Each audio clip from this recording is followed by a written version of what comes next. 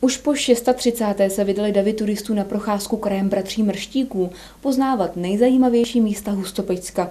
Umožnilo jim to divácké putování Mariša, pořádané klubem českých turistů předposlední říjnovou sobotu.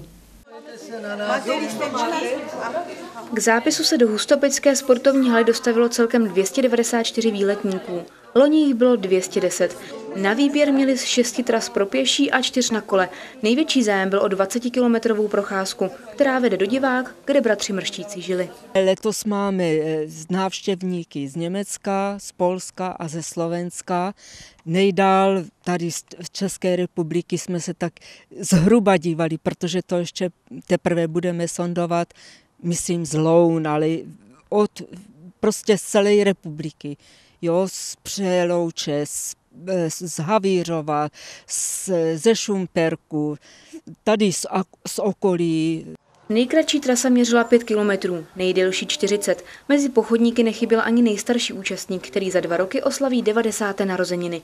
Raritou celé akce byla jistě účast šestiletého kozla Bohuše, který se svým páničkem absolvoval několika metrový výlet už po třetí v řadě za sebou.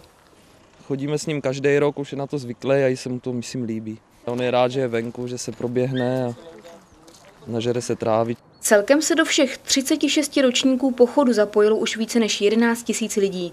Další výlet mají hustopečtí turisté v plánu 30. prosince, kdy se vydají na poslední procházku roku 2012. Sraz je po 9. hodině před jejich klubovnou.